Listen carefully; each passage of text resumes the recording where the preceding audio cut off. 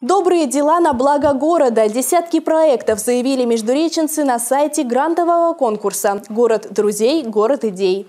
Помоги выбрать лучший социальный проект. Отдай свой голос. Подробности далее.